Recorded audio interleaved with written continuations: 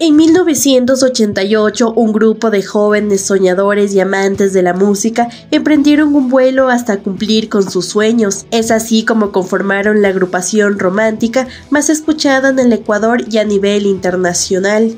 No, muchas anécdotas. Durante 35 años yo como fundador de la agrupación y también como Rodrigo, eh, tenemos muchas anécdotas, pero ahora esta nueva generación de la agrupación Zairo, si les puedes enfocar, son fenomenales.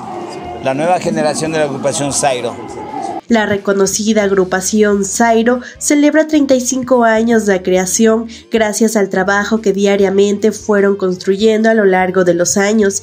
Hoy cumplir 35 años eh, aquí en la ciudad de Loja para mí es un orgullo y también cumplir junto a mis compañeros mi cumpleaños mucho más.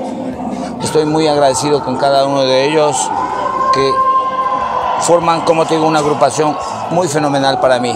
También pudimos conversar con un ex integrante de la agrupación, Saúl Proaño, que manifestó lo agradecido que se siente con la ciudadanía por el apoyo que les han brindado. Este, gracias, gracias a todo nuestro querido público del Ecuador, se podría decir, de, de Colombia, de Perú, y por qué no saludar también a todos nuestros amigos que están allá en Europa, en Estados Unidos. la, verdad que eh, se ha hecho historia con las canciones.